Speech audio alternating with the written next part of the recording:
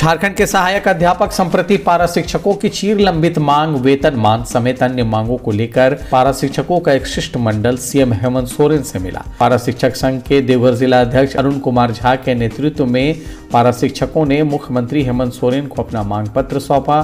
साथ ही पारा शिक्षकों के वेतनमान का वादा पूरा किए जाने की बात जोरदार तरीके से मुख्यमंत्री के समक्ष रखी गई। सीएम हेमंत सोरेन, आपकी योजना, आपकी सरकार, आपके द्वार कार्यक्रम को लेकर देवघर पहुँचे थे। इसी दौरान मांग पत्र सौंपा गया। मांग पत्र में वेतनमान समेत शहरी क्षेत्र में चार प्रतिशत मानदेय वृद्धि को लागू किए जाने की बात कही गई।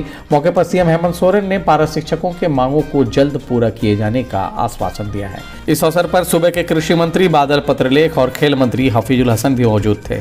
मांग पत्र सौंपने वालों में अरुण झा समेत सत्यनारायण पोद्दार महेश यादव विकास कुमार सिंह आदि शामिल थे।